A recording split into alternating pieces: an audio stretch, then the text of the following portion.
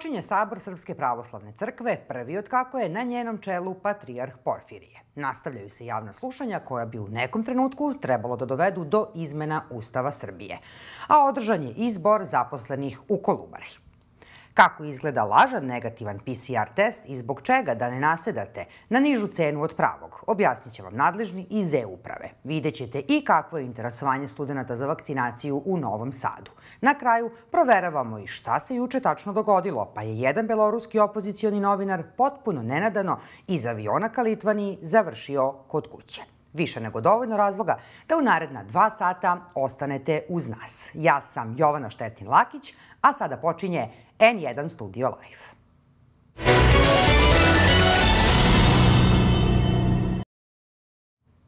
Liturgijom u hramu Svetog Save u Beogradu započelo je redovno godišnje zasedanje Sabora Srpske pravoslavne crkve kao bogoslužbeni uvod u njegov radni deo. Patrijarh Porfirije prvi put predsedava Saborom, a planirano je da, od da se ovo zasedanje zadrži, sadrži prvi put u kripti hrama, gde je i izabran novi poglavar, umesto u Patrijaršiji kako je bilo uobičajeno. Sabor, sabor, makar onoliko koliko je to medijski moguće, prati reporter N1 Petar Gajić. Petre, iako zvanično počeo počinje danas, administrativni deo Sabora SPC zapravo počinje u utorak. Šta će biti teme ovogodišnjeg zasedanja? Počinje sutra i trajaće, prema informacijama koje imamo, čitavih e, sedam dana, možda i malo duže, a glavna tema e, na ovom e, saboru Srpske pravoslavne crkve trebalo bi da bude izbor novih mitropolita u dve veoma važne eparhije e, Srpske pravoslavne crkve. Dakle, e, kako je izabran patrijarh Porfirije, tako je mesto mitropolita Zagrebačko-Ljubljanskog ostalo upražnjeno. Patrijarh je i dalje administrator te mitropolije. Takođe, već e, duže vreme, dakle od oktobra i smrti vladike Amfilohija, upražnjeno je mesto mitropolita Crnogorsko-Primorskog i to je u stvari e, najvažnije pitanje. Pretpostavlja se da će e, pitanje mitropolita Zagrebačko-Ljubljanskog biti mnogo lakše e, rešeno, čak možda neće biti ni izabran mitropolit, već će nastaviti Porfirije još neko vreme da bude administrator, ali pravo e, pitanje koje ima ne samo crkvenu, već i političku težinu jeste da li će vladika Joanikije biti na ovom saboru koji počinje danas najpre predložen, a onda i izabran za mitropolita Crnogorsko-Primorskog posetiću. On e, obavlja dužnost episkopa Budimljansko-Nikšićkog i od smrti vladike Amfilohija je i administrator mitropolije e, Crnogorsko-Primorske. E, postoji velika želja većine vernika u Crnoj Gori da on bude i novi mitropolit, a ujedno bi ta odluka mogla da pokaže u kom pravcu će patrijarh Porfirije voditi crkvu, jer Joannikije je bio uslovno rečeno jedan od protiv kandidata e, prilikom e, izbora e, novog patrijarha i on je pripadao toj drugoj struji u, crkvu, u crkvi za koju možemo reći da nije nema političku podršku vlasti u Srbiji, dok je ova struja iz koje je zapravo izabran na kraju patrijarh imala tu podršku. Dakle, izbor e, vladike Joanikije na mesto mitropolita Crnogorsko-Primorskog e, pokazala bi da crkva e, ide na neki način ka ujedinjenju, ka zalečenju te podele koja je nastala neposredno pred izbor patrijarha, ali i ranije, budući da je mitropolit Amfilohije zastupao prilično čvrste stavove i oponirao je prilično državnoj struji u crkvi, pa i samoj državi oličenoj u predsedniku e, Aleksandru Vučiću. Sećamo se 2018. E, onog sabora na koji je došao i predsednik Vučić kada je sa vladikama razgovarao o politici na Kosovu i Metohiji, kada je upravo mitropolit Crnogorsko-Primorski bio taj koji je zauzeo čvrst stav da nikakvi kompromisi nisu mogući. U svakom smislu vladika Joanikije je naslednik e, mitropolita Amfilohija e, i kažem ukoliko sada on bude e, izabran steći će se utisak da je crkva uspela da prevaziđe te ranije nastale podele. Dakle, na dnevnom redu pre svega kadrovska rešenja, možemo ih tako nazvati u crkvi, a Patrir Porfir je izabran pre nešto više od tri meseca. Podsjeti nas šta je obeležilo taj period u pogledu dešavanja u Srpskoj pravoslavnoj crkvi? Taj period obeležio je, možemo tako reći, jedan novi stil upravljanja crkvom koji je patrijarh Porfirije pokušao da predstavi u ova poslednja tri meseca. Dakle, prvi put od izbora patrijarha Germana, Srpska pravoslavna crkva dobila je uslovno rečeno mlađeg, nešto mlađeg čoveka na svom čelu, budući da su i patrijarh Pavle i patrijarh Irinej u zaista poznim godinama došli na poziciju patrijarha. Sada imamo nešto mlađeg patrijarha Porfirija, koji je e, pokazao na nekoliko primjera, na primjer onim e, uskršnjim ručkom sa beskućnicima, zatim time da je peške išao na posao i sličnim nekim potezima, da želi da predstavi jedan novi stil, novi način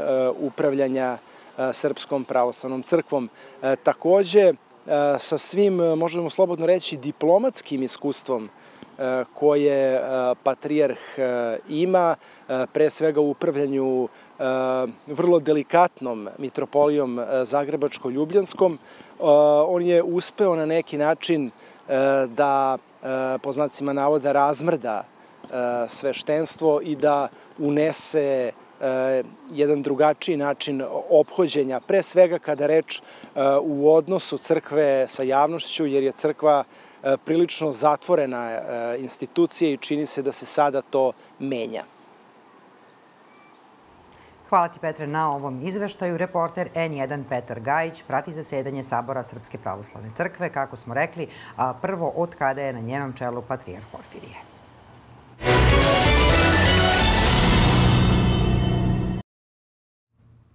Lider Spasa i predsjednik opštine Novi Beograd Aleksandar Šapić u našem jutarnjem programu rekao je da će se videti da li će biti kandidat Srpske napredne stranke za gradonačelnika Beograda na sledećim izborima, ali da će ta stranka svakako izaći sa najjačom formacijom. On je rekao i da ne misli da će biti zamena za Nebešu Stefanovića na čelu predsjednika gradskog odbora SNS-a u Beogradu. Formalno još nismo postali deo Srpske napredne stranke. To bi trebalo da se ozvanični i formalizuje na uh, glavnom, glavnom odboru 29. maja u subotu. Uh -huh. Ali svakako da smo u taj proces ušli i pa vidjet ćemo. Kako vidjet ćemo je osjećaj? Pa nema, znate šta, ja sam već dovoljno dugo u, u ovom poslu i nisam neko moje životno iskustvo, bez obzira što možda godinama nisam previše star, ovaj, mi ne dozvoljava da budem ni u pretvorenoj euforiji, niti nekom suprotnom depresivnom stanju. Trudim se inače u životu da držim neku sredinu i da mi bude ovaj, hladna glava, tako da... Jel znate na kojoj ćete stranačkoj funkciji biti? Znam, ali to ćemo da sačekamo ovaj, 29. maj, pa će i javnost o tome biti obaveštena. Nećete ranije malo da kažete ovde? Neću ranije to da kažem, ali evo, iskoristio bih priliku da možda kažem nešto drugo što je sad sveže i aktuelno, pošto sam baš pre neki dan, pre dva, tri dana čitao intervju predsjednika stranke Slobode i pravde Dragana Đilasa i pored nekih drugih stvari koje tu izgovarao, možemo i na to da se vratimo. Ja bih se pozabio sa mnom, pošto, pošto mu je novinarka postavila dva eksplicitna pitanja vezana za mene u kojem on kaže da, da ne želi da komentariše svoje bliske saradnike. A posle toga kaže nešto vezano za Beograd, pa ćemo doći na to. E sada, ja već godinama ćutim i trudim se da budem zaista zbog nekih prošlih vremena i odnosa s nekim ljudima kojima sam imao, da se trudim da nekim stvarima ne govorim, ne pričam. Ja nemam svoje tablide, svoje medije. Nemam način druge komunikacije osim da dođem i da izgovorim nešto. I ja sad pozivam Dragana Đilasa da počne da komentariše svoje bliske saradnike, počeši od mene, i da od prvog dana 2009. godine, kada me Boris Tadić poslao kod njega, upravu grada za, da, da, da, da, to je da budem njegov pomoćnik, pa sve do 2018. godine kad smo se posljednji put videli nakon beogradskih izbora, kad me on zvao da se vidimo. da počne sve da priča, sav naš odnos koji je bio tih koliko godina, normalno sa prekidima kad njega nije bilo, samo da prestane više da me provlači kroz ove svoje, neću ih nazvati drugim izrazom, obećao sam pred emisiju, tabloide, kroz koje, koje njegovo, njegov način komunikacije i koje su jeli jedinica mere bi trebalo da bude objektivno novinarstva i po kojima bi on sutra, kako je rekao, i uređivo RTS-ov dnevnik. Čekajte, mi ovde niste sada došli da, vi, da mi prepričavamo pa, Đilasov intervju. Reći vam šta mu uvredilo. Dakle, ako ćemo da kažemo, pa evo, i informer koji nekako vrlo daje podršku ovoj vlasti, pa zamera Đilasu što ništa nije rekao vam. Doći ćemo i do informera. Ne, ne moramo da dolazimo, pošto moramo, nije pojenta da vi ovde pričate o Đilasu, niti da pričate... Ne, ja pričam o sebi. A, pa dobro, i o sebi, evo, tu je intervju, dakle, ništa nije rekao evo, pa, o vama, to, da biste vi ne, sada rekao, se našli toliko uvređenim. Postavljamo novinarka pitanje. A šta ukoliko bude kandidat za gradonačelnika Beograda ispred da. vladajuće većine i Aleksandar Šapić? A on kaže? A on kaže, da. Potpuno je nevažno ko će da bude. I... Beogradom će da odlučuju Vesić i Vučić. Pa zar to nije istina? E, sad, e, tako je. E sad ja pozivam njega. Pošto to znači da sam ja jedno, kako vam kažem, karakterno smeće i podanik, koji se nikad ni za šta nije pitao, ja ga pozivam isto tu kad ja budem bio prisutan, da on najbolje on ume da, op, da opiše te moje karakterne osobine, naše odnose. Jer znate šta, ja kao što sam rekao, nikad nisam imao svoje medije, nisam slao svoje zaslanike. Dobro, to ste, to ste ne, rekli. Ne, ne, ali dakle, važno je važno ali da završimo. gospodine Šapić, da znate, da kad bi se mi sad vraćali, vi sada kritikujete njega što Đilas neće da kaže ništa o vama, a ne kritikujete Vučića koji vas je nazivao da nikada niste prošli ni pored jedne ustanove, da, da ste lopov, da ste ovakvi, da ste onakvi. I to sad nema veze, a pričate o Đilasu koji, dakle, ništa nije rekao o vama. Hoću da kažem, da pozivam gospodina Đilasa, da evociramo te uspomene na taj moj podanički karakter. I da kako pišu njegovi mediji, već četiri godine me provlače, zadnje dve intenzivno, a još od beogradskih izbora, kako sam ja neko ko mora da sluša šta mu se kaže, kako sam uslovljen, kako moram da izvršavam naređenja, kako me ucenjuju. Ja sada pozivam svakog političara, biznismena, kriminalca, pripadnika tajne službe srpske ili strane, e, investitora, nevladinu organizaciju, Dobro. sve koji meni mogu bilo šta da narede, kome sam ja bilo šta dužan ili koji mogu da me ucenjuju, da izađu u javnost, ja ću se sutra povući iz politike. Zbog čega ste odustali od političke organizacije koju ste formirali u julu mesecu 2018. godine? E, iz prostih razloga. Zato što onog momenta kada mi je Aleksandar Vučić ponudio da postanem deo Srpske napredne stranke i ja ću sad to da kažem, iako on to, on insistirao na suprotnom terminu, ali ja imam pravo to da kažem. Nema tu nikakvog ujedinjenja. Tri ne može da su ujedini sa 53. Mi ulazimo u Srpsku naprednu stranku, ja ću to da kažem. On je tu pokazao, ja sam mu zahvalan, nije želeo da nas ponizi ni mene, ni moju organizaciju, pa insistirao na terminu ujedinjenja. Nema tu ujedinjenja. Mi ulazimo u jednu veliku organizaciju koja ima daleko, daleko veće resurse, mogućnosti, instrumente da se sprovede politiku koju verujete.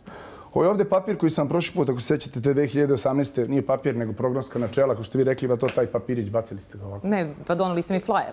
Ne, ne, to je bilo isto. Ovako, ne, ne, ovo nije flyer, bilo isto. Dobro, dobro, nije isto. Ove, pa, dobro, to u tome pišu naša programska načela. Pa dobro, to je sada nebitno. U kojima nema ni jedna... 2018. su pisane. Tu ne postoji ni jedna stvar koja danas je suprotna, jedna važna i velika stvar, državne politice koja se sprovodi posljednjih par godina.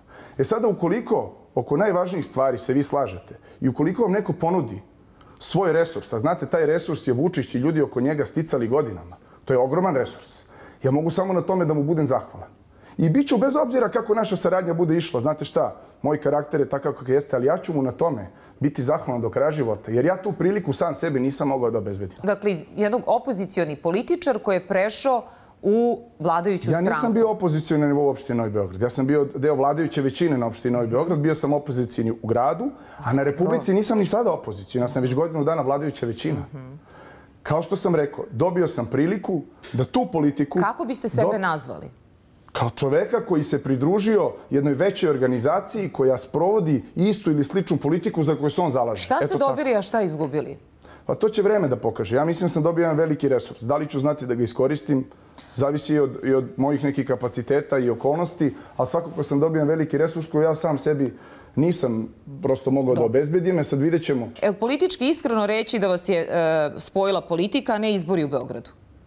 Verovali vi ili ne na izbori u Beogradu, ako neko ko se razume u politiku, malo i u političku matematiku, ukoliko nam je cilj veći broj glasova u Beogradu, a kao nešto smo se dogovorili, onda bi svakako izašli različito. Srpska napredna stranka sa svoje strane, ja sa svoje strane imam poprilično stabilno biračko telo u Beogradu, pa smo onda mogli da se dogovorimo i da se malo jeli posvađamo i da onda nakon izbora Pa znate šta, sad pa, ovo meni deluje... Ali to nismo tako, uradili, nekako, tako bi imali više glasova, verujte. Da je ovo slučajnost, kada vi dolazite u Srpsku naprednu stranku, da se sve ovo dešava vezano za izglasavanje nepoverenja Nebojši Stefanoviću koji je godinama vodio grad Beograd? Pa to, svakako da to nema nikakve veze sa mnom i da ono što se dešava sa Nebojšom Stefanovićem i ono što se dešava sad u Srpskoj naprednoj stranci, to ima veze sa onim što se dešavalo kod njih u proteklih dve, tri godine. Ja zaista to neću da komentarišem, jer to su stvari ljudi koji su međusobno radili, sarađivali. Ali ukoliko bude smenjen Nebojša Stefanović, da li ste vi njegova zamena?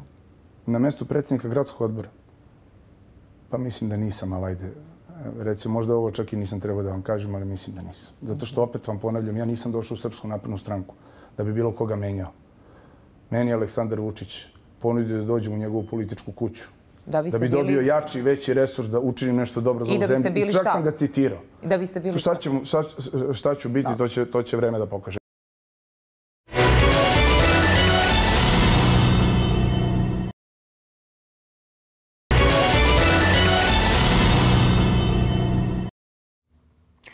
Jedna vest koja je stigla pre svega nekih 10-15 minuta i nesumnjivo će biti najlepša vest dana. Novac za lečenje malog Gavrila Đurđevića koji boluje od spinalne mišićne atrofije je obezbeđen. Saopštilo je danas Ministarstvo zdravlja. Prema poslednjim informacijama, tokom vikenda za njegovo lečenje nedostajalo je nešto više od pola miliona evra kako bi se ono obavilo u inostranstvu. Ministarstvo zdravlja obaveštava javnost da su nakon jutrošnjeg razgovora predsednika Republike Srbije sa predstavnicima predstavnicima Ministarstva zdravlja obezbeđena nedostajuće sredstva za lečenje malog Gavrila koji boluje od spinalne mišićne atrofije. Sredstva će biti na raspolaganju porodici odmah kako bi se maloletni Gavrilo što pre uputio na lečenje. Saopšteno je u Ministarstvu zdravlja.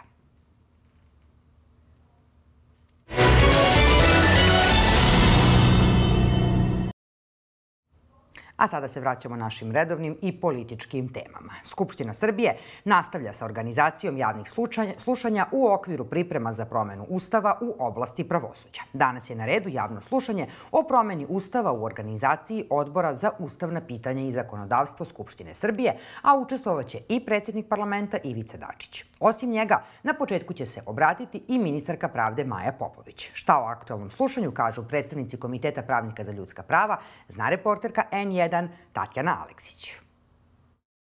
Organizuje se još jedna javna rasprava o promeni Ustava Srbije. E, na današnju javnu raspravu pozvani su i predstavnici civilnog sektora, jedna od, organizacija koje će učestvovati je i JUKOM. O tome razgovaram sa Katarinom Golubović iz ove organizacije. E, dobar dan, gospođo Golubović, hvala vam što govorite za televiziju N1. Kako se vama i vašoj organizaciji do sada čini čitav ovaj e, proces promene Ustava? Za početak treba reći da smo mi na početku postupka promene Ustava i danas je treće javno slušanje o predlogu vlade da se promeni Ustav. Dakle, mi ne raspravljamo o aktu, odnosno konkretnim rešenjima, nego ra razgovaramo da li ima potrebe da se Ustav menja i u kom obimu. E, dakle, e, na to ćemo se i usvrnuti u toku javnog e, slušanja, takođe ćemo se osvrnuti na to da li je potrebno hitno menjati Ustav i to su argumenti koje će danas čuti narodni poslanici od civilnog sektora. Šta će konkretno čuti od vaše organizacije? Imate li vi e, nekakve zamerke na ono što smo do sada čuli? Nije baš da se kreće od nula, imamo jedan e, e, predlog vlade Srbije o tome kako bi trebalo menjati ustav. Pretpostavljam da su to i nekakve smernice po kojima će se raditi. Kako vi na to gledate? E, predlog vlade Srbije se zapravo e, zasniva na kritici Venecijanske komisije iz 2007. godine na postojeći e, ustav. Dakle, mi se vraćamo 14 godina unazad i raspravljamo o onome što je trebalo da se desi 2006. godine. Mi smatramo da pored ovih, da kažemo, pravaca koje je vlada zacrtala, bi trebalo razgovarati i onim ustavnim rešenjima, odnosno mogućnosti promene ustavnih rešenja koje su već davno zastarela i sa stanovišta ljudskih prava, ali tu su i neka pitanja u pogledu organizacije vlasti, pa čak treba pomenuti i preambulu Ustava. Dakle, mi zaista treba da iskoristimo današnji forum da pred narodne poslanike predstavimo argumentovano šta je to sve potrebno menjati u Ustavu kako bismo zaista i, da kažemo, pristupili Evropskoj uniji, jer u predlogu vlade se konkretno i poziva na taj cilj, a to je pristupanje Evropskoj uniji. Kada govorimo o Evropskoj uniji i promenama Ustava, Ustav se menja da bi, se, da bi pravosuđe bilo nezavisno ili makar nezavisnije nego što je u ovom trenutku. Da li se vama čini da ćemo doći do tog krajnjeg cilja, imajući u vidu, hajde opet da se vratimo na ono što je vlada predložila? E, tako je, dakle, jeste prioritet e, otklanjanje nedostataka Ustava kada je u pitanju dostizanje nezavisnosti e, pravosuđa. Dakle, može da se u Ustavu, odnosno promenama, dođe do, do osnove za nezavisnost pravosuđa, međutim, to nije jedino što treba promeniti. Potrebno je takođe proveriti na koji način će Ustavni zakon glasiti, a takođe i kako će pravosudni zakoni menjati, jer upravo ceo ovaj paket predstavlja rešenje za nezavisnost i odgovornost e, pravosuđa. E, to će biti i da kažemo i naša molba i naš zahtev da se celokupni paket e, ide na da kažemo proveru usaglašenosti sa međunarodnim standardima kod Venecijanske komisije. Da, u rešenjima koje još uvijek nisu konačne, nekako je i dalje ostavljeno, govori se promene su u Visokom savetu sudstva, u Državnom veću tužilaštva, e, uvodi se, e, trebalo bi da se uvede da struka ima e, ili stručni ljudi sudstva da imaju više odgovornosti i više prava kada su izboru, reč o izboru sudija, ali opet nekako je pola-pola nije pola je oni koji će birati politika, pola one koji će birati sudstvo. O ovim pitanjima možemo da razmatramo tek nakon što predlog e, vlade bude usvojen. Dakle, tada tek ulazimo u fazu razmatranja e, akta o promeni Ustava i e, tada će biti i više prilike da govorimo o konkretnim rešenjima. Da li ste zadovoljni koliko je civilno društvo uključeno u ovaj proces? Civilno društvo nije želelo danas ni da se pojavi na javnom slušanju, s obzirom da su godinama unazad upravo iz Narodne skupštine bili neverovatni napadi kako na integritet, stručnost nevladinog sektora, ali i dobru nameru. I zato je danas vrlo malo predstavnika civilnog društva pristalo da, da dođe da, da govori o Ustavu. Time je naša odgovornost zaista mnogo mnogo e, veća. Mi ćemo se takođe danas osvrnuti na stanje civilnog e, društva u Srbiji i pozvati narodne poslanike e, da se to promeni, jer samo zajednički možemo da dođemo i do konsenzusa za promenu Ustava. Što je vas opredelilo da danas budete ovde, a, a ne da uslovno rečeno bojkotujete ovaj skup?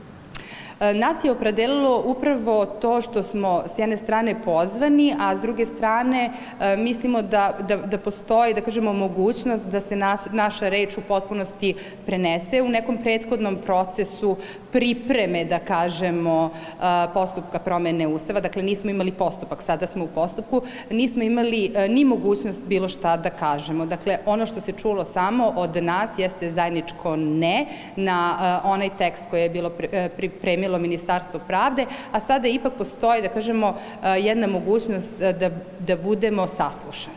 A da li e, bićete saslušani, ali da li očekujete da će neki od vaših predloga biti uvaženi?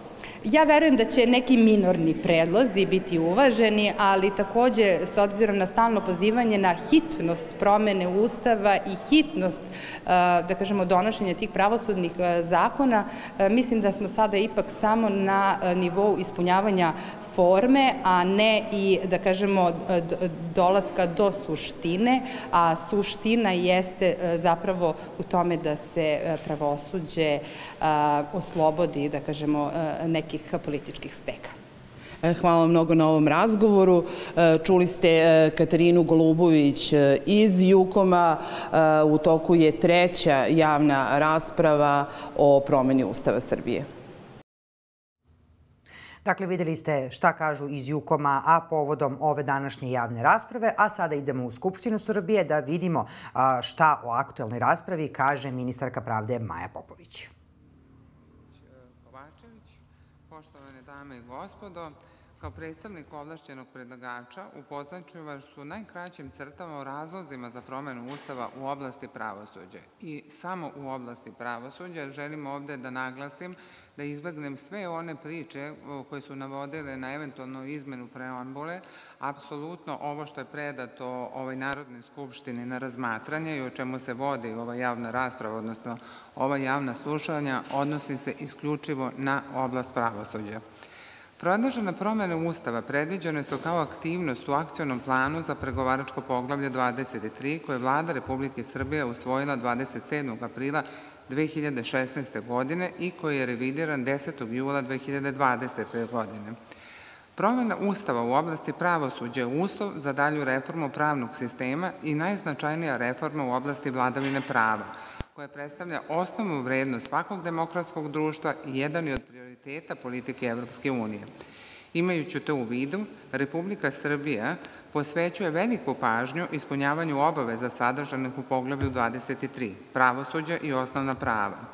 Upravo zbog svoje važnosti, prve aktivnosti u revideranom akcionom planju za poglavlje 23 posvećene su promene i Ustava u cilju unapređenja kvaliteta pravde, kao i nezavisnosti, nepristrasnosti, stručnosti, odgovornosti i efikasnosti pravosuđa. Predviđeno da Republika Srbija analizira postojeće odredbe Ustava sa stanovišta opšte prihvaćenih evropskih i međunarodnih standarda izražene kroz dokumenta Evropske unije, Ujedinjenih nacija, Saveta Evrope, posebno Venecijanske komisije, ali i grupe država protiv korupcije Greko, Evropske komisije za efikasnost pravosuđa SEPEŽ, Konstitutivnog veća evropskih sudija, Konsultativnog veća evropskih tužilaca i Evropske mreže Saveta pravosuđa. Posle sprovedene analize utvrđeno je da je neophodno premeniti odredbe Ustava u oblasti pravosuđa u cilju uspostavljanja boljeg sistema predlaganja, izbora, premeštaja i prestanka funkcije sudija, predsednika sudova, javnih tužilašta i e, zamenika javnih tužilaca. To bi omogućilo da ulazak u pravosuđe bude zasnovan na objektivnim kriterijuma vredovanja, pravičnim procedurama izbora, otvorenosti za sve kandidate, odgovarajuće kvalifikacija i transparentnosti iz ugla opšte javnosti. Da bi ovi pozitivni efekti bili ostvareni, neophodno je da Visoki savet sudstva i Državno veće tužilaca budu ojačani i preuzmu vodeće uloge u upravljanju pravosuđem, ali i veću, veću odgovornost koju, za odluke koje donose. Ono što je bitno i ovde o čemu raspravljamo jeste upravo sastav tog Visokog saveta sudstva i Državnog veća tužilaštva. Na koji način će biti on organizovan? Da li će u Državnom veću tužilaštva ostati Republički javni pravobranilac koji će promeniti naziv i da li će u Visokom savetu sudstva ovaj, biti ili neće o, predsednik Vrhovnog kasacijonog suda, to je nešto o čemu mi treba kroz ovu raspravu da donesemo odluku. Znači, svaka e, vaša primetba, sugestija su dobrodošli upravo zato smo se ovde i okupili e, da nam date vi vaše konstruktivne predloge i, što je rekao predsednik, da vidimo šta je najbolje i za našu državu i čime ćemo postići jedan konsenzus na nivou države, a definitivno izmena Ustava nešto što i mi radi unapređenja demokratičnosti naše države moramo da uradimo, a što je i naša obaveza po ovom akcijnom planu. Hvala vam. Hvala vam, gospođo Popović, što ste uvek tu ime predstavnika predlagača na, na javnim slušanjima. Otvaram sada diskusiju. Ono što vas molim jeste da se, koliko god je to moguće, pridržavamo utvrđene satnice, da budemo koncizni i konkretni u svojim obraćanjima kako bi apsolutno svi učesnici koji danas žele da dobiju reč dobili šansu da kažu svoje mišljenje, eventualne primetbe ili, ili predloge o temi zbog koje smo se sastali. A, takođe imajući u vidu i tehničke uslove u ovoj sali, molim vas da se e, javljate sa mesta, ali da onda izađete ovde za govornicu i da kažete, samo da se predstavite na početku, da bi svi učesnici znali ko se javio za reč. Prvo ću pitati naravno članove odbora ili zamenike članova da li se neko od njih javlja za reč, a onda ću dati reč i ostalim učesnicima javnog slušanja. Pošto se od članova odbora niko ne javlja za reč, Sada pitam da li neko od učesnika javnog slušanja želi da se javi za reč. Mogu ja da idem, pošto ja nisam deo... Predsednik, predsednik ima već ovaj, neke obaveze. Pa ne, ja nisam ovaj, ni stručna javnost, ni, ni civilni sektor. Da. Izvolite, javite se sa mesta slobodno. Ovaj, predsedniče, zahvaljujem vam se još jednom. I izvolite ovde za, za govornicu. Samo da vidim ko se, ko se prvi javio. Mnogo...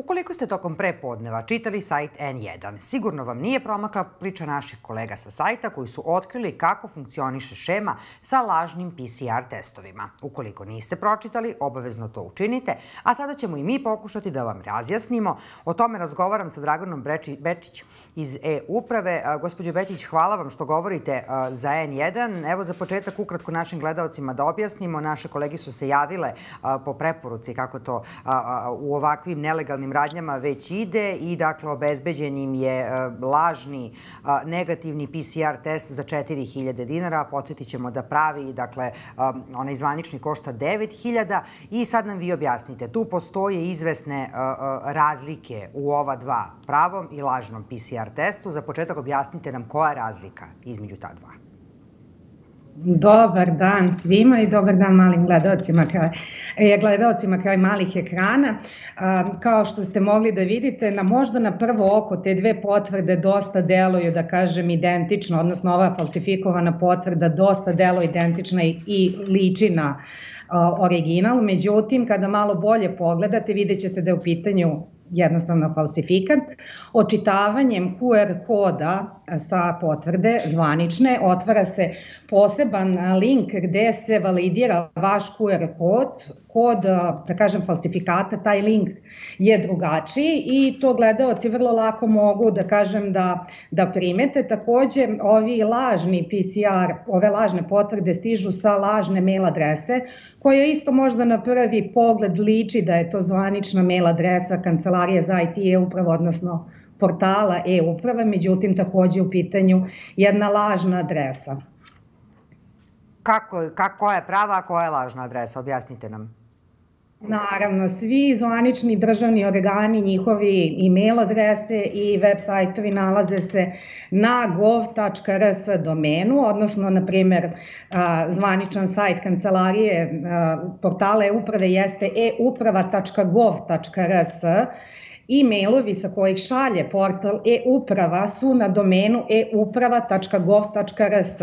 Ovde kod lažnih testova je, da kažem, ta tačka između e-uprave i gov zamenjena jednom crticom, tako da na prvi pogled vama deluje da to jeste gov domen, odnosno government, međutim, to ipak nije. E, sada, kako se vi uh, štitite od ovakvih PCR, uh, lažnih PCR testova, odnosno lažnih potvrda koje se, pretpostavljam, pre svega izdaju u svrhu putovanja ili eventualno boravka u nekoj zdravstvenoj ustanovi zbog, na primjer, neke intervencije koja nema veze sa COVID-19? Znamo da bolnice i dalje traže negativne PCR testove. Pa ja verujem da skoro pa svakodnevno se pronalaze, da kažem, lažni, um, lažni PCR testovi ne samo u našoj zemlji, nego verovatno i na, ce, u, na, u celom svetu. Ono što je jako bitno jeste da sve ova, znači ova saznanja koje dobijamo kako i preko društvenih mreža i iz javnosti, da su sve stru, da kažem službe u čije je to nadležnosti a, obavešteni da one aktivno se bave time. Ja bih volela da apelujem na građane da budu svesni da a, korišćenjem takvih usluga, ako možemo nazvati usluge, u stvari jednostavno učestvuju u krivičnom delu, to je falsifikovanje javne isprave i da su ta, to delo je naravno kažnjivo. A, tako da je jako bitno da znaju da čak i ako se možda dobio nekih privatnih laboratorija ponudu za PCR test, PCR testovi rade se samo u zvaničnim državnim laboratorijama, cena tog testa je javno dostupa, plaćanje ukoliko radite na lični zahtev je a, takođe zna se da je to račun a, RFZO, odnosno Republičkog fonda zdravstva i da jednostavno ne postoji način da vi nekako uplatom na račun privatnog lica ili neke privatne kompanije možete da, da dobijete PCR rezultat. Verujem da, da, kažem, definitivno ovo problem svuda, ali da jednostavno aktivno radimo na otkrivanju. Iz tog razloga je i napravljen digitalni zeleni sertifikat koji, da kažem, je kao usluga dostupna svim registrovanim korisnicima portala e-uprava, znači na adresi e-uprava.gov.rs ukoliko su vakcinisani ili imaju PCR rezultat star 72 sata ili antigenski rezultat star, star 72 sata mogu da dobiju svoj digitalni zeleni sertifikat. To je dokument koji je elektronski potpisan i praktično ga je nemoguće falsifikovati. Ministarstvo turizma telekomunikacija trenutno radi na priznavanju tih sertifikata sa ostalim zemljama.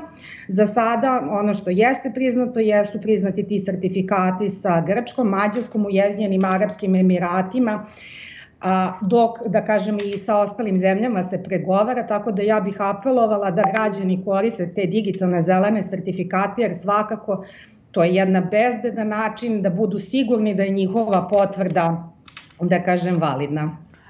Pretpostavljam da nije moguće uopšte taj QR kod učitati, taj lažni. Šta se desi? Da li ste probali? Šta se desi kada pokušate da ga učitate?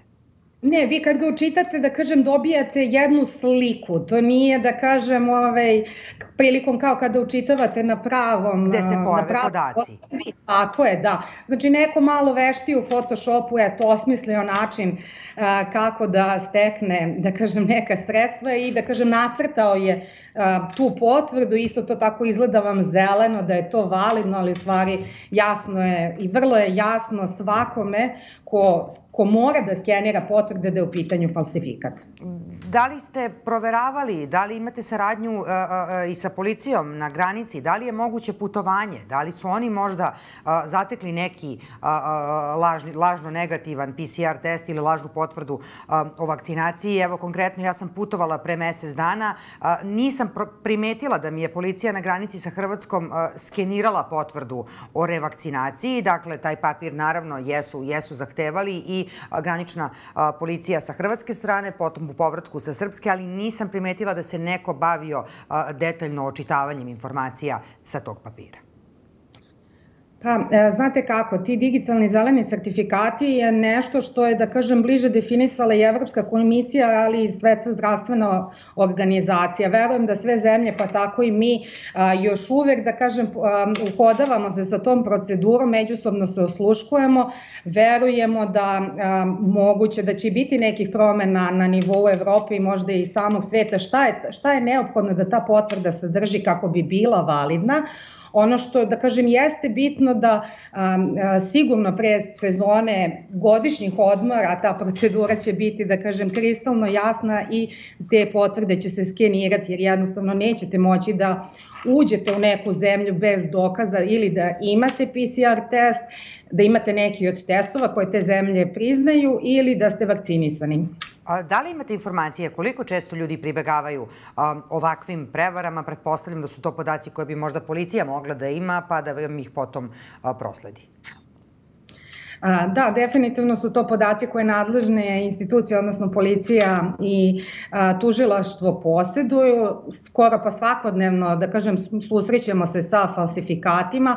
Ono što je bitno jeste da promptno reagujemo i da, evo, još jednom pozivam sve građane da ukoliko primete preko društvenih mreža, nekih sajtova, da se reklamiraju takve usluge da to prijave policiji. Ukoliko nisu sigurni kako da prijave, mogu se obratiti kancelarije iz IT-e upravo na svim društvenim mrežama Facebook, Instagram, Twitter, LinkedIn. Neka nama pošalju taj link, naše kolege će ispitati a, i dalje to proslediti nadležnim službama. Pomenuli ste već da je u pitanju krivično delo koje se tiče dakle, falsifikovanja javne isprave. Koje su sankcije? Što za one koji izrađuju ovakva lažna dokumenta, a što za one koji učestvuju u takvoj prevari da bi opet ostvarili neku svoju koristu? Tako je. I za onoga ko pruža takve usluge i koristi, to je, da kažem, kažnjivo. Jednostavno, vrlo teško vas može neko da obmane i da vam kaže da je to validan test. Svi znamo već godinu dana koliko se priča o koroni i o svim testiranjima testiranjima svi znamo gde se rade ti PCR testovi, kako se rade, kako se dobijaju rezultati PCR testa, da to izdaje zvanična institucija koja vas je testirala, tako da skoro pa nemoguće poverovati da preko Instagrama ili Facebooka vi, um, da kažem, ovaj, obavljate neko testiranje ili pak, ne de Bože, da neko tvrdi da, će, da je to validno i da se vi nalazite u bazi testiranih lica, vi se zasigurno ne nalazite u bazi testiranih lica. Ukoliko, da kažem, jednostavno poručujete e, rezultate testa preko društvenih mreža. Da li takođe ima i lažnih potvrda o, o, o izvršenoj revakcinaciji u istoj meri kao lažno negativnih PCR testova ili, ili jednostavno neke stvari se rade više, možda su oni koji žele da prevare sistem možda bolje u Photoshopu opremljeni bolje naučili da rade ove negativne PCR testove? Za sada nemamo nikakve informacije da se, se da kažem, lažirale potvrde o vakcinaciji. Nažalost, eto, to je negde u čudi čovečanstva da, da kažem da negde svi se žalimo što nemamo sistema, da onda kad ga imamo želimo da kažem da pređemo nekako taj sistem i da ga izbegnemo. Jednostavno, koronavirus je promenio način na koji živimo, radimo i funkcionišemo um, i dok se stvari ne stabilizuju, da, da kažem to ne prođe za sva putovanja i negde nešto, znači morat ćemo imati neke dokaze ili o prelažanoj bolesti ili o testu ili o vakcini. A koliko je bezbedan sistem um, e-uprave? Dakle, ovo su neke lažne stvari koje svakako uh, uh nije niko pokušao uh, da iz sistema e-uprave, dakle državnog sistema, sazna naše informacije, dakle bilo o tome kada smo testirani, da li smo bili negativni, pozitivni, kada smo se vakcinisali, kada revakcinisali, koliko je bezbedan sistem da vi možete da garantujete um, građanima da u jednom trenutku se njihovi podaci neće eventualno negde lažno prodavati, a opet biti navodno validni. Naravno, svi sistemi elektronske uprave se čuvaju državnom data centru u Beogradu, kao i u novom državnom data centru u Kragujevcu i svim sistemima jednostavno ne pristupa kako kogod želi. Postoje tačno ovlašćena lica lica koje na tačno određen način pristupaju podacima i zna se po kom osnovu oni pristupaju vašim podacima kao i sa kojim nivom pristupaju, odnosno da li im je potrebno kvalifikovani elektronski sertifikat kao negde najviši nivo predstavljanja, da kažemo, na, na tim, u tim informacionim sistemima, tako da stvarno građani mogu da budu bezbrižni, svi podaci, naš posao jeste da brinemo da njihovi podaci budu bezbedni, da ti podaci budu strogo čuvani u državnom data centru koji pored fizičkog obezbeđenja ima i da kažem druge vidove obezbeđenja, tako da jednostavno nije to, ne može to baš tako da se dogodi da sad neko uđe u tu bazu i nešto tu ubaci, to jednostavno... Svakako ne mislim na fizički ulazak, znate na, o, o kakvom ulazku? Ne, o kakvom mislim ja na onaj drugi ulazak na koji vi mislite, praktično je nemoguće. Da li očekujete da će ovakvih pokušaja prevara biti sve više s obzirom da ide sezona godišnjih odmora? Vreme nam nešto nije išlo na ruku, dakle nije bilo naročito sunca, ali pretpostavka je da će ljudi sada mnogo više putovati jer je i manje novozaraženih i situacija dakle dosta povoljnija nego, nego prethodne sezone, mislim na prethodno leto. Da li očekujete da će ovoga biti sve više? Pa, evo, kao što sam već napomenula, digitalni zeleni sertifikat, da biste ušli, na primer, u Grčkoj, otišli na odmor, potrebavan je digitalni zeleni sertifikat. Da biste dobili digitalni zeleni sertifikat, imate tamo jedan niz preduslova ili da ste vakcinisani ili da ste testirani, znači koje morate da ispunite i praktično taj digitalni zeleni sertifikat ne može da se falsifikuje. Republika Grčka je dozvolila ulazak naših turista sa tom potvrdom, odnosno sa tim sertifikatom, tako da verujem da će i ostale zemlje kako se približava turistička sezona takođe prihvatiti te sertifikate, s time ćemo dosta, da kažem, praktično i smanjiti zloupotrebe koje se trenutno dešavaju, a svakako kolegi rade na poboljšanju i ove standardne, da kažem, potvrde o izvršenoj vakcinaciji kako bi se ovakvi slučajevi, da kažemo, sprečili.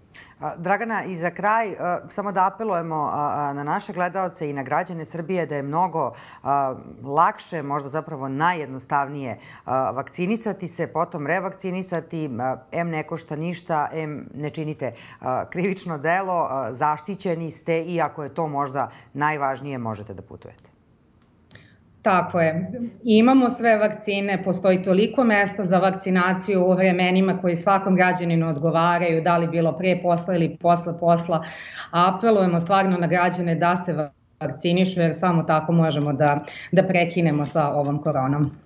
Dragana, hvala vam. Dragana Bećić iz E-uprave bila je gošća N1 i objasnila je kako funkcionišu oni koji žele da prevare sistem, a ja vas svakako vraćam na sajt N1 i pogledajte detaljan tekst na ovu temu upravo na sajtu n1info.com.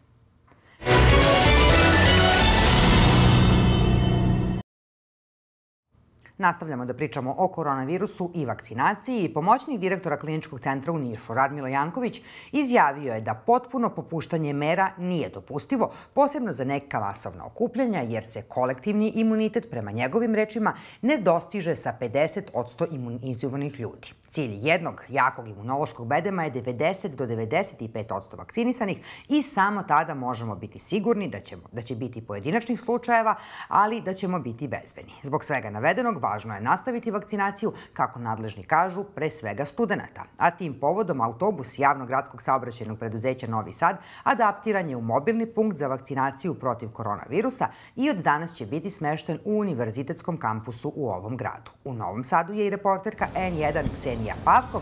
Ksenija, kako nadležni planiraju da motivišu studente kako bi se vakcinisali i kako uopšte izgleda taj autobus?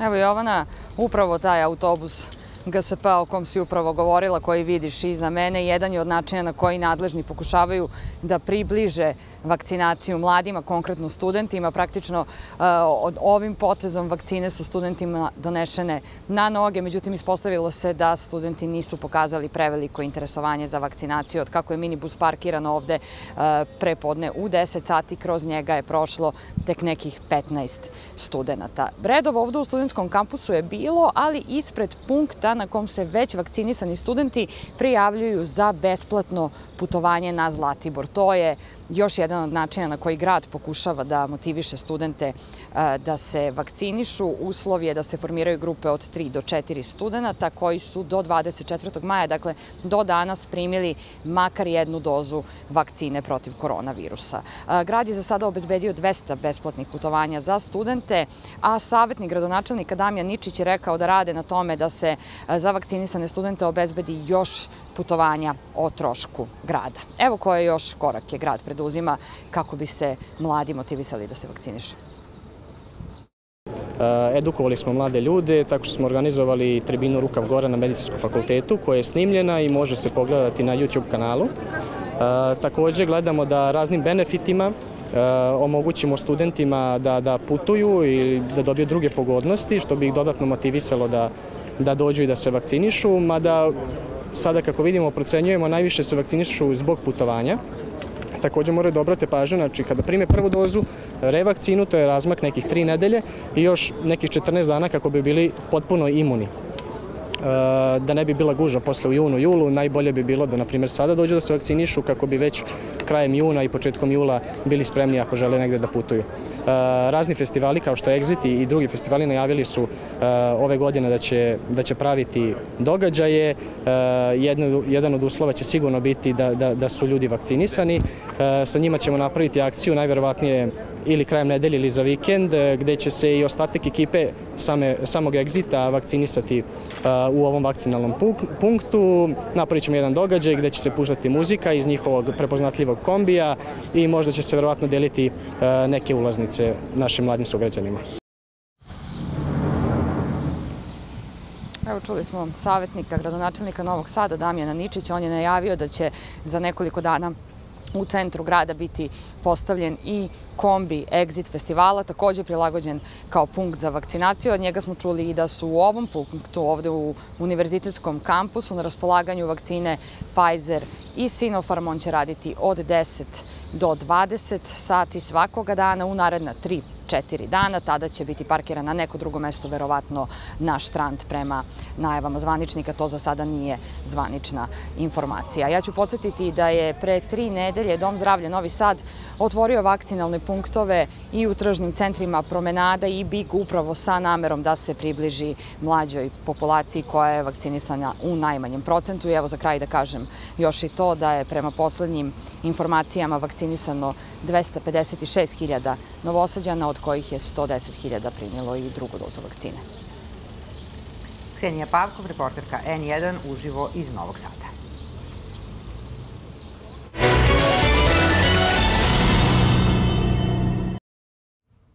Prodajom nepokretnosti u Mataruškoj i Bogutovačkoj banji kompanije FMO Ekonom iz Ušća nastavljena je privatizacija banjskih kompleksa u Srbiji. Za sada je na licitaciji prodat deo kojim je upravljalo društveno preduzeće u stečaju, pa je privatna kompanija FMO Ekonom za 1,8 miliona evra dobila pravo korišćenja izvorišta vode i postala vlasnik tri hotela, tri vile, tri restorana, dva depetesansa kao objekata starih i novih kupatila. Reč je o oko 10.000 kvadrata koji su prodati po ceni od oko 180 evra po metru kvadratnom. Izveštava reporter N1 Nenad Božović. Prodajom Mataruške i Bogutovačke banje nastavljena je privatizacija banjskih kompleksa u Srbiji. Novi vlasnik je firma Ekonom iz Ušća koja se inače bavi proizvodnjom metalne galanterije. Ova firma je bila i jedini ponuđač na licitaciji, a banjski kompleks kupljen je za 1,8 miliona evra. To praktično znači da je novi vlasnik 10.000 kvadrata platio 180 evra po jednom kvadratnom metru.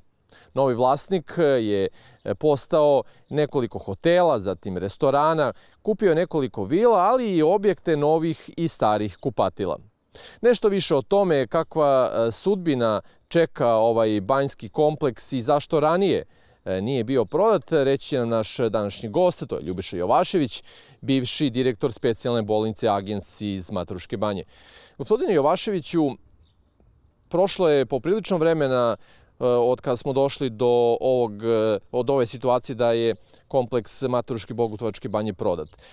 Zašto se to nije dogodilo ranije? Pa nekoliko puta je prodaju sprečila bivša uprava Bogutovačke Mataruške banje prirodnog lečilišta Nije im to odgovaralo, dugovanja su bila velika, ta dugovanja nisu podmirena koliko ja znam. I novi vlasnik koji je bio jedini ponuđač ostao je kao jedini jer je četiri, pet njih koji su bili zainteresovani odustalo od kupovine a, prirodnog lečilišta. Prirodno lečilište ima dva svoja dela, Bogutovačku banju i Matarušku banju. Prodato je za nepuna 2 miliona evra, međutim, ono što je ovde indikativno to je što će novi vlasnik morati da velika sredstva uloži, ne bili dove u red prirodno lečilište. Naime, da li vi znate koje su to sredstva kada već pominjete? Pa, dolazilo je ovde više arhitekata sa zainteresovanim kupcima. E, govorili su otprilike da je suma negde između 4,5 i 6 miliona evra što se tiče rekonstrukcije hotela Termal koji ima stare standarde, potrebno je prilagoditi ga ovom vremenu. Hotel je podignut negde 74. godine, koliko se sećam. Sa druge strane imate u Bogotovačkoj banji hotel Mineral koji je imao upotrebnu dozvolu svega 15 godina jer je bio montažni objekat, mora da se ruši i da se diže nov. Sve ove vile koje je novi vlasnik kupio, to je dve i po vile faktički, on mora da ih restaurira.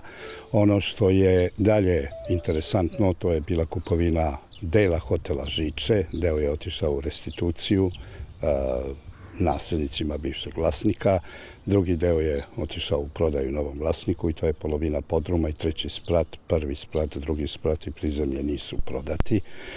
Vi imate ovde staro i novo kupatilo, to novo kupatilo nikad nije radio, u njemu je u jednom delu današnja ambulanta, u drugom delu nije ništa urađeno, ostalo je kako jeste. Zatim imate problem sa izvorima vode. Vi ćete videti malo kasnije, možete da snimite u kakvom stanju je jedno izvorište vode, drugo, novi vlasnik nije kupio izvorište vode, niti je mogo da ga kupi, on ima pravo korišćenja, kao što će koristiti park, kao što će koristiti i ovaj segment ovde. Od Ali prilike... za agencije za licenciranje stečenih upravnika su rekli da je novi vlasnik praktično nasledio i vlasništvo nad izvorima. A, vlasništvo nad izvorima nasledio, oni su to rekli, ali u ugovoru koji je išao nije to napisano. A, tu i nije neki problem. Pa ste vi ne možete izvor da prodajete, možete samo da ga koristite. Tako je i prethodna ustanova koja je prodata, prethodno društveno preduzeće, faktički moglo da koristi vodu i tu vodu nije moglo da prodaje specijalnoj bolnici, nego je naplaćivalo uslugu odnosno platu radnika koji je radio tu i deo troškova koji se odnosio na električnu struju za pumpe crpne. Ono što je dalje interesantno to je da a, vidjet ćete lokalni vodovod, on je sada povezan sa gradskim vodovodom, tako da tu nemate izvorište vode koje bi bilo od interesa za sam hotel Termal. Inače sve ukupno renoviranje ove bane, dovođenje u red, renoviranje hotela, restorana Jugoslavija, kapice koja je bila pizzerija i tako dalje, po procenama onih koji su stručni u tom smislu, kreće se negde, uključujući i mineral u Bogotovačkoj banji, oko desetak miliona evra. Ponekad se pitao čovek da li je bio svestan novi vlasnik u šta je ulazio, s obzirom da su velika i dugovanja. Kažu da je negde 2 miliona evra dugovanje za električnu energiju, plus kamata od 7 godina, da je dugovanje radnici, ne 2 miliona evra je dugovanje za e, snabdevače kojima nije isplaćeno, milion i 200 hiljada za električnu energiju i milion i 100 hiljada evra dugovanja radnicima za povezivanje radnog staža i tako dalje. Na sve to treba dodati i kamatu od 7%. I kao što vidite, park je potpuno uništen, devastiran. Ovde su se sekla drveća, kome treba za ogreb dođe pa odseče. To se ponašanje ovako godinama ustalilo, e, jednostavno kada, kada govorimo, uništena. Kada govorimo o novom vlasniku, firma Ekonom iz Ušća poznata je po tome što pravi te metalne e, ormare i, e, i nešto što je povezano sa, sa tom delatnošću. Vlasnik je Dejan Antonijević, mi smo pokušali s njim da razgovaramo, rekao nam je da će nam govoriti o svojim planovima tek kada bude završena primopredaja vlasništva. Da li je vas iznenadilo kada se čuli da je, da je firma Ekonom iz Ušća bila jedini praktično ponuđač na toj licitaciji? Pa iznenadilo me 12. da su oni ostali jedini. Znam da je bilo 4-5 zainteresovanih koji su dolazili, koji su kupovali dokumentaciju o privatizaciji. Međutim, svi su se povukli. Bila je ovde jedna ekipa arhitekata koja je tvrdila da ih je postao vlasnik Ceptera, recimo, koji su pravili uvid u stanje objekta. Međutim, svi su otišli, ostao je vlasnik koji je ujedno vlasnik ekonoma Ušće. Ukoliko ovaj kompleks bude radio kao što radi danas ekonom Ušće, mislim da će i svi sugrađani ovde u banji biti vrlo zadovoljni. Ukoliko pak ne bude imao mogućnosti da ovo isfinansira, onda se i on nalazi u dubiozi, a i svi mi zajedno sa njim opet kad pogledate možda je on samo eksponent nekog vlasništva, moguće da ima neku ekipu ljudi koji su su investitori, koji ne žele da se pokažu za sada, s druge strane Ajde da vidimo šta će da uradi Ministarstvo financija, Ministarstvo privrede, moguće da oni daju neke subvencije, da li su one sada opterećene kamatama ili su date bez ikakvog interesa ili možda bespovratno preostalo je da vidimo. Iza toga se možda kriju i pravi vlasnici ukoliko ih ima, ukoliko je, kažem, vlasnik ekonoma samo eksponent ove politike. E, vi kao neko koji živi u Matoroškoj banji i dugo ste i radili ovde kao direktor specijalne bolnice Agens,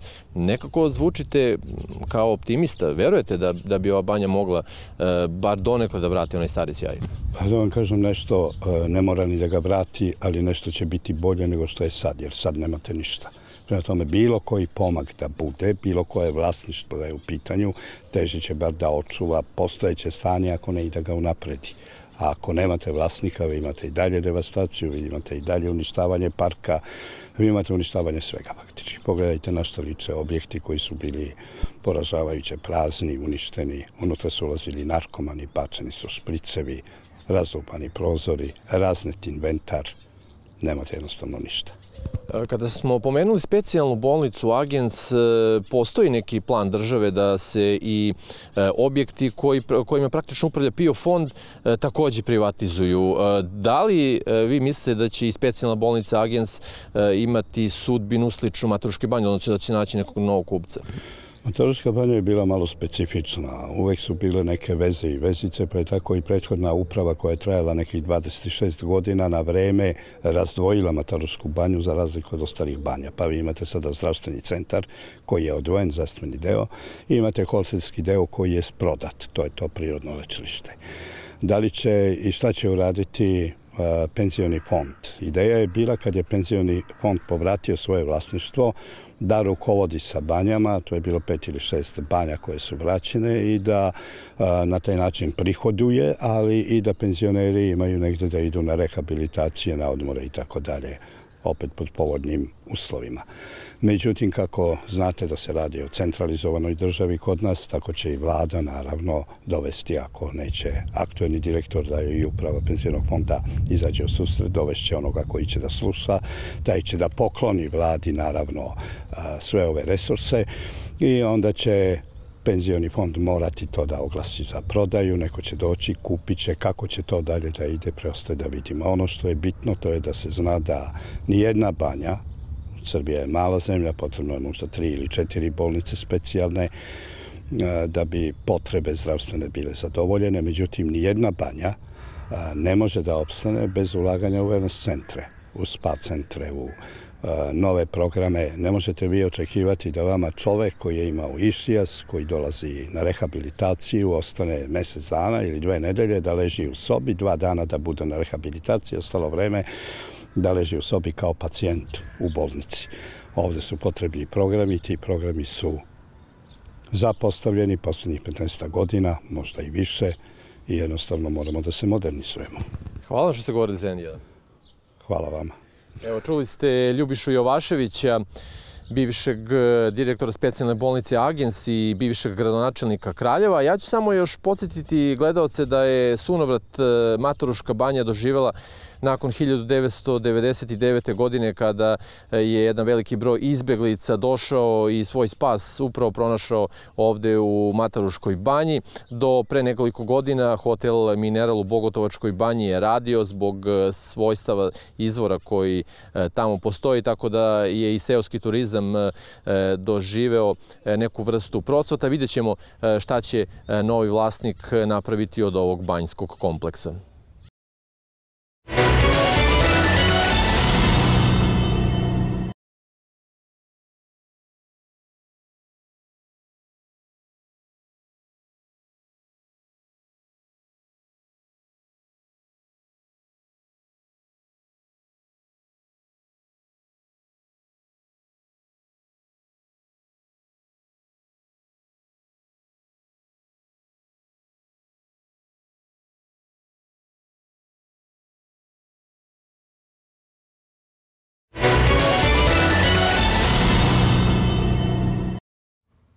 U 10 sati je u Karliniću održan zbor rudara Kolubare, Kostolca i zaposlenih u termoelektrani Nikola Tesla. Tamo je i reporter N1 Đorđe Nasković. E, Đorđe, zbog čega su se radnici danas okupili u Kolubari?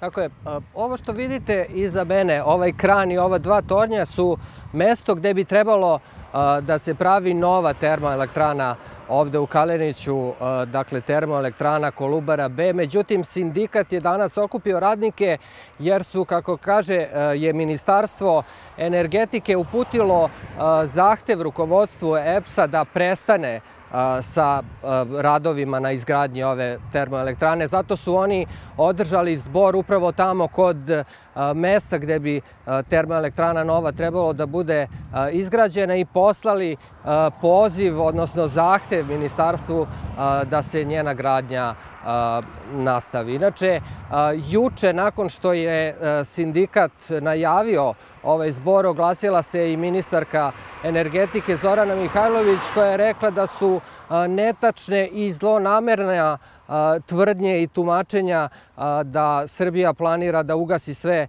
termoelektrane, kako je navela, preko noći i da će to značiti da će radnici izgubiti mesta, radna mesta. Ona je najavila da će to ministarstvo zajedno sa sindikatima praviti planove rada elektrane do 2050. godine, koje po njenom, njenim rečima podrazumevaju postepeno smanjenje proizvodnje električne energije iz uglja. Ja ću citirati dakle, deo iz saopštenja koje je prosleđeno medijima. Ona kaže, dakle, istina je da energetska tranzicija znači planiranje kao i velike investicije u nove energetske kapacitete. Investicije podrazumevaju i nova radna mesta koja će se otvarati zbog izgradnje i upravljanja novim hidroelektranama, gasnim elektranama, solarnim elektranama, vetroelektranama i drugim elektranama koje koriste obnovljive e, izvore energije, kao i u proizvodnji pratećih tehnologija, komponenti i opreme. Ja ću podsjetiti samo da je u, u, u martu prošle godine EPS e, potpisao sporazum o saradnji za izgradnju elektrane Kolubara B sa kineskom kompanijom Power China. Procenjena vrednost radova je 385 miliona evra, a u jesena se oglasila i kancelarija Evropske unije u Srbiji navodeći da to nije dobar put s obzirom na to da se Evropska unija trudi da što više u proizvodnji električne energije izbaci ugalj, odnosno te takozvane prljave tehnologije. Đorđe, hvala ti. Vidjet ćemo danas da li će e, i nakon ovog zbora biti novih e, reakcija resorne ministarke e, Zorane Mihajlović. Đorđe Nasković, reporter N1, izveštava nakon održanog zbora radnika Kolubare.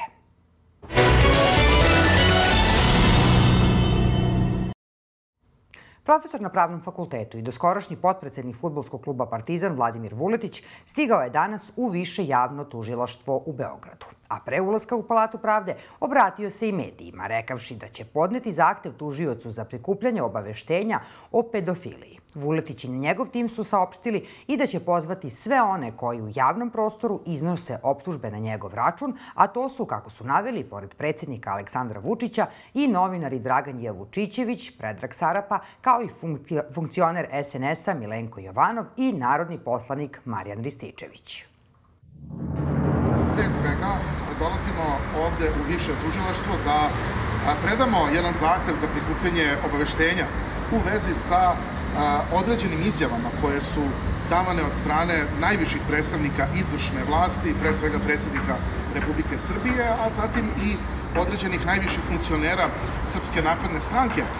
Opet u vezi sa najtežim krivičnim delima, navodno, u kojima ja učestvujem ili koje ja obnašam, dakle, reč je o delu koje se danas kolokvijalno naziva pedofilija i tako dalje, a e, naravno krivični zakonik to drugačije definiše kao obljubu nad maloletnim detetom i tako. Dakle, jednostavno to su stvari koje se e, već ponavljaju izvesno vreme, to su stvari koje e, bih rekao da se ponovo definišu kroz TV nekakva suđenja, kroz nekakva TV, TV optuživanja.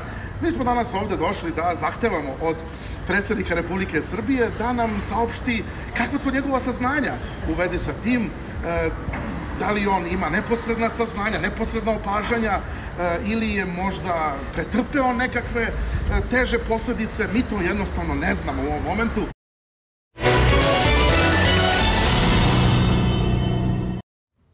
Beloruske vlasti uhapsile su juče opozicijonog aktivistu i novinara Romana Protastevića, nakon što je avion kojim je putovao neplanirano sleteo u Minsk posle pretnje da je u avionu podmetnuta bomba koja se pokazala lažnom. On je inače odveden od strane policije ubrzo nakon što je avion kompanije Ryanair koji je putovao iz Atine za Litvaniju sleteo u belorusku predsjednicu. Vlade zemalja Evropske unije zatražile su od Belorusije hitno objašnjenje o preusmeravanju komercijalnog leta u Minsk.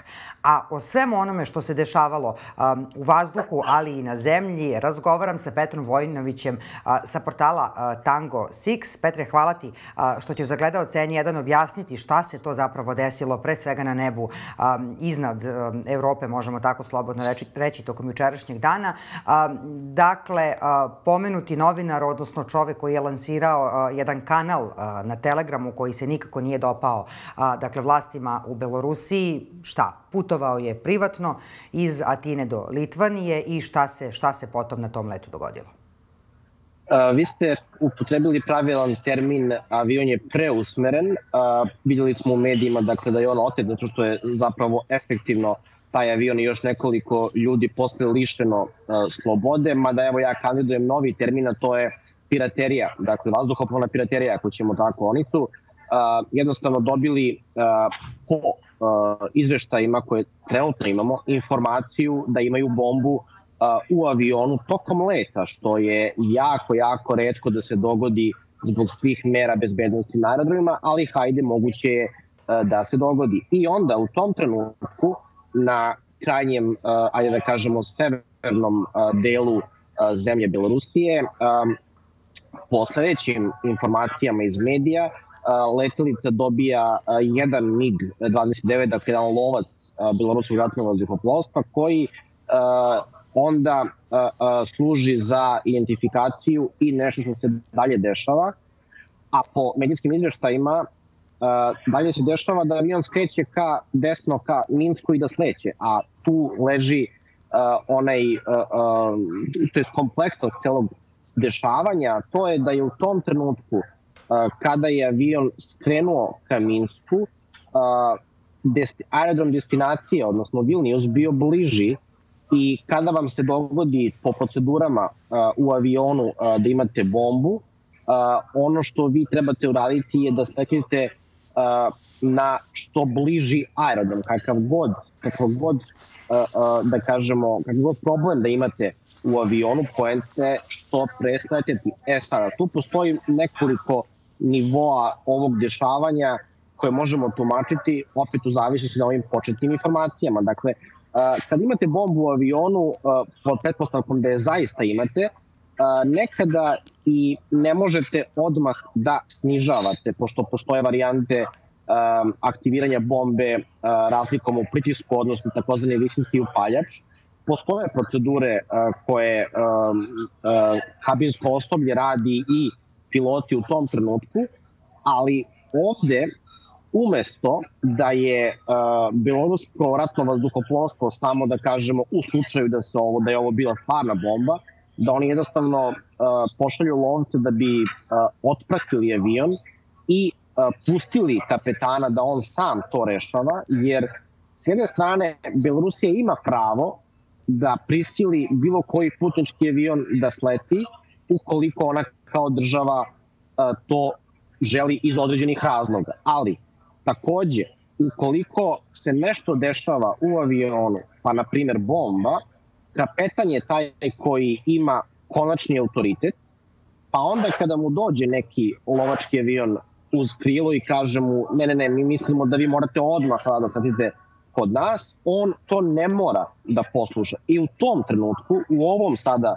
a, a, razvoju, to je tumačenju događaja, ukoliko je kapetan rekao da on zapravo po svojim procedurama logično i proceduralno treba da seti na najbliži aerodrom, a to je bio aerodrom Vilnius, dakle aerodrom na koji je inače trebao da seti, koji je zaista fizički u tom trenutku zaista je bio bliži, a Belorusija mu rekla, ne, ne, ne, ti sad moraš ovde, e u tom trenutku je to zapravo da kažemo, možemo tako nazvati piraterija, odnosno mešanje u odluke kapetana, Belorusija je onda efektivno prizemljila ne po pravilima avion Evropske unije, što može dakle imati razne, razne posledice. Evo ja ću sada citirati uh, saopštenje iz dakle kabineta uh, kabineta uh, iz Lukaše, Lukašenkovog kabineta. Oni su naveli da je pretnja bobom primljena dok je avion bio iznad Belorusije. Da li to možda znači da će upravo to biti njihov argument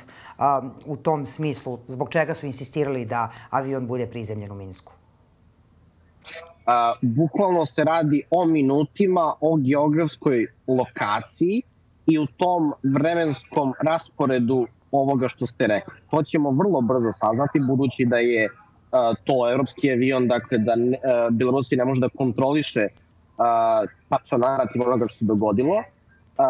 Tako da delo, delimično je, da kažemo, ovo objašnjenje iz kabineta tačno. Dakle, ukoliko postoji neka opasnost iznad Belorusije, Belorus, Belorusko ratno vazduhoplovstvo, njihova kontrola letenja imaju autoritet da oni pod navodnicima hendluju tu situaciju. Ali, uh, ukoliko, a ovo sada što govorim, imamo uh, zaključeno na osnovu geografskog položaja aviona na osnovu servisa Flight Radar, koji indikuje da je avion skrenuo desno uh, veoma, veoma blizu granici uh, Belorusije i Litvanije i da zapravo Vilnius je bio mnogo bliži. Tako da uh, belorusko opravdanje proceduralno može biti tačno, ali sada treba da sačekamo Ryanair, odnosno ne Ryanair, već Irsku, pošto je Irska zemlja u kojoj je letelica registrovana, irske vazduhoplovne vlasti koje mogu napraviti istragu, ne da kriminalno ili politički naravno imaju neki epilog, već da tehnički kažu pilot je dobio informaciju o bombi i on je bio ili sprečen da bezbedno sleti u Vilnius ili, ajde da kažemo, su Belorusi u pravu. Postoje dve, dva načina kako pilot može da bude obavešten o tome da ima bombu. To je ili kompanijski operativni centar, dakle, avion je u svakom trenutku u komunikaciji sa svojom matičnom kompanijom, dakle da je Ryanair dojavio e, imaš bombu u avionu, što je malo verovatno. Više verovatno je da je trenutna kontrola letenja u trenutnom vazdušnom prostoru u kojem se nalazio, a to je Beloruska, uh, njemu javila imamo informaciju da imaš bombu. To je moguće, ajde da kažemo da je pretnja bila prava ili kredibilna, moguće da je neko dojavio, to se inače nekada re, uh, dešava, više, više se aerodromima javlja nego aviokompanijama, ali hajde, i onda da kažemo da je neko javio u trenutku kada je on bio iz, iza Belorusije, i onda Belorusija kontrola letenja zapravo obaveštava uh, avion, ali tu sad imamo ta dva uh, uh, granja, granja, grananja cele priče. Uh, Belorusija može samo da ponudi svoju pratnju lovcima, ne bi li se, ajde da kažemo, osiguralo da je sve u redu, ali ukoliko je tačno da je bomb, informacija o bombi u avionu uh, spoznata od strane kapetana na krajnjem severnom delu uh, njegove rute, uh, odnosno tačno pred granicu, e onda ulazimo u ovaj deo uh, piraterije pod navodnicima i mešanja u dalju, uh,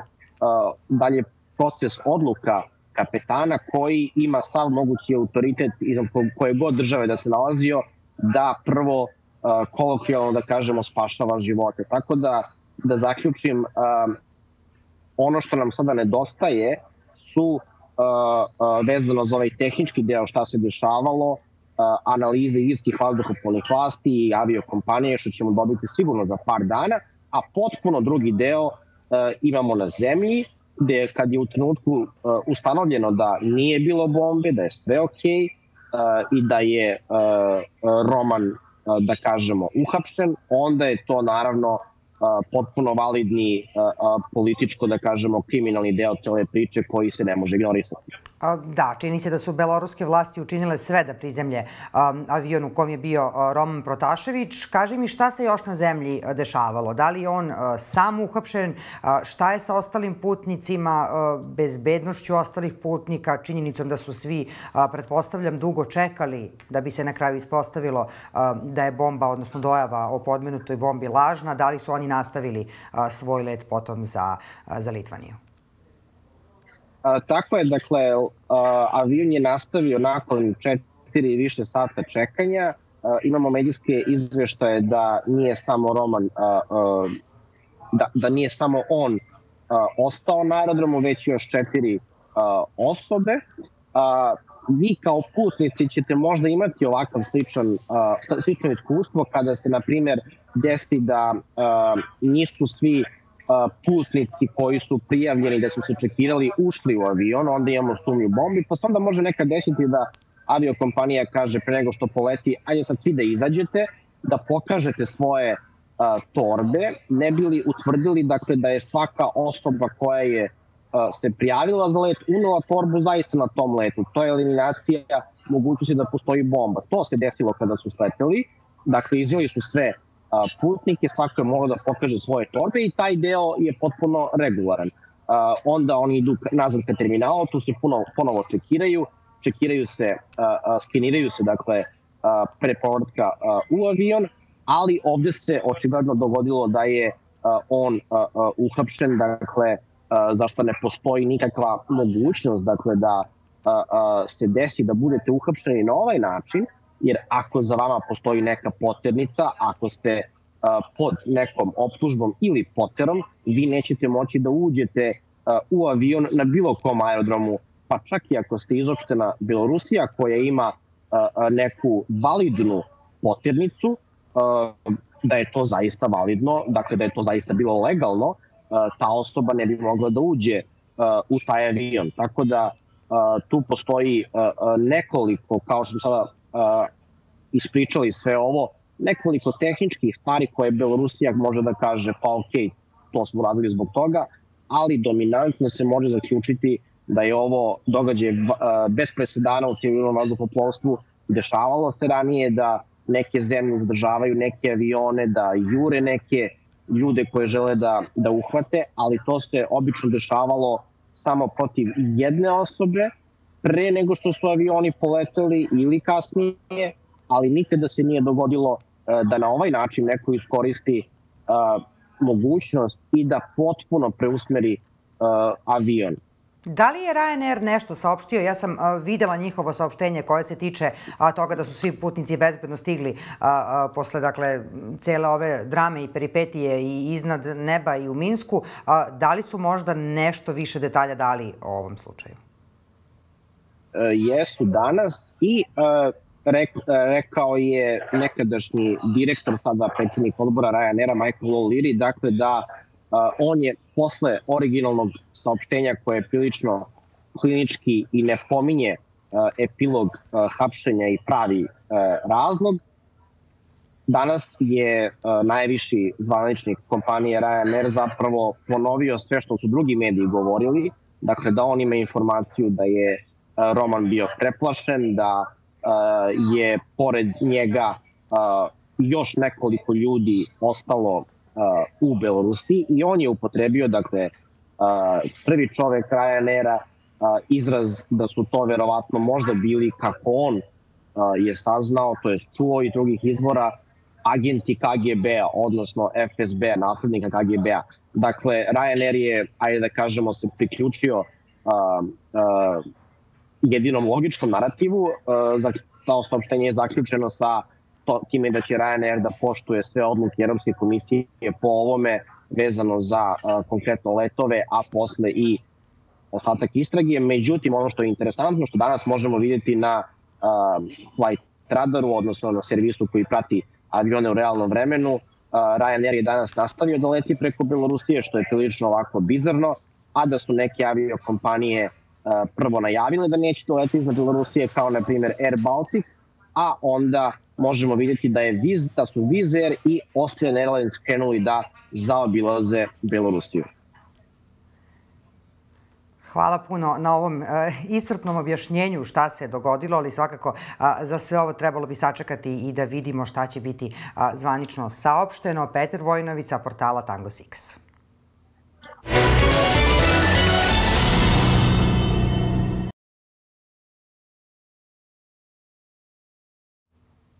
Prioritet Bosne i Hercegovine i Crne Gore je dobra ekonomska saradnja. Saglasili su se nakon sastanka predsjedavajući veće ministara Bosne i Hercegovine Zoran Telgetija i premijer Crne Gore Zdravko Krivokapić koji boravi u zvaničnoj poseti Bosni i Hercegovini.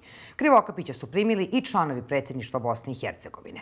Neizbežna tema bila je i predložena rezolucija o genocidu u Srebrnici koju bi Skupština Crne Gore trebalo danas da razmata. Predsjednik vlade Crne Gore Zdravko Krivokapić u Sarajevu izjavio da je svaka žrtva na ovim prostorima velika. Moj odnos prema Srebrenici je jasan. Ja sam zbog Srebrenice krenuo u proces razrešenja jednog ministra. Iako sam znao da to može da bude jedan pokušaj rušenja vlade, Ali mene je bio važniji sporazum koji sam potpisao sa tri lidera koalicije od toga koliko će trajati vlada. Mene je bilo važnije da ono što sam potpisao držim se do kraja toga. Poziv zemljama Evropske unije da ne lagaraju vakcine, da ne nude donacije, već da nam omogući da kupimo dovoljnu količinu vakcina za građane i jedne i druge zemlje. Cijena koju smo platili u COVID-u je jako visoka, pogotovo u oblast ekonomije, kroz pridržavanje epidemioloških mjera i kroz proces vakcinacije smatramo da stvaramo dobar prostor za prevladavanje e, problema u ekonomiji koji je proizveo COVID u 2020. godini, a i u ovom trenutku pravi određen problem. Bilo je ovo sve za danas. Svakako ostanite u N1 jer u 14 časova slede naše najnovije vesti. Doviđenja.